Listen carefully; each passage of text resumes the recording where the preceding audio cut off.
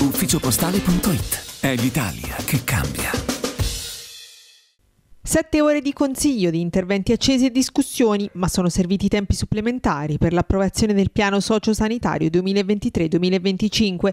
Mercoledì mattina, infatti, l'Assise si è riunita nuovamente per concludere la discussione e approvare definitivamente quello che sarà il documento su cui dovrà muoversi almeno per i prossimi tre anni la sanità regionale. Né il PD né i 5 Stelle hanno proposto emendamenti perché hanno giudicato il piano inemendabile e totalmente da riscrivere. Il presidente Francesco Acquaroli invece lo ha descritto come il piano della verità. L'assessore alla sanità Filippo Saltamartini riassume così le oltre 500 pagine di documento. Il piano parte da un elemento imprescindibile di una regione al plurale come le Marche. Innanzitutto fa una fotografia della domanda di servizi sanitari. Noi sappiamo esattamente quali sono i servizi domandati ad Ascoli Piceno, a Fermo, a Macerata, ad Ancona e a Pesaro che non trovano risposta.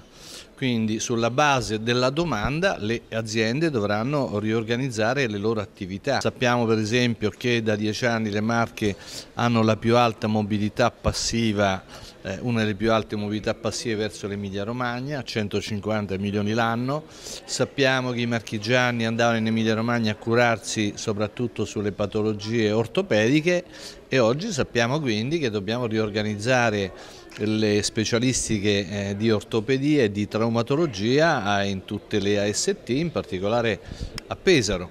Eh, poi eh, la vecchia amministrazione aveva creato una identità no, sui servizi sanitari creando un'apposita azienda che era Marche Nord, che era in, in conflitto con l'area vasta 1 di Pesaro. Noi abbiamo riunificato le due aziende e l'unica azienda adesso di Pesaro appunto dovrà fare il percorso inverso, cioè garantire ai pesaresi eh, i servizi che i pesaresi domandavano e andavano a richiedere in Emilia Romagna. Intanto è Bagari in aula dove i gruppi di opposizione del PD e del Movimento 5 Stelle sono usciti dall'aula per protestare contro un piano che dicono essere farlocco, che non dà risposta ai cittadini marchigiani. Tutta l'opposizione è uscita, eh, anche il Movimento 5 Stelle, il piano è assolutamente un contenitore troppo pieno e non sceglie nulla, eh, noi rimarremo con l'illusione che eh, si possano risolvere i problemi delle liste d'attesa, dei pronto soccorso, dei medici che mancano, invece non, eh, purtroppo non accadrà nulla.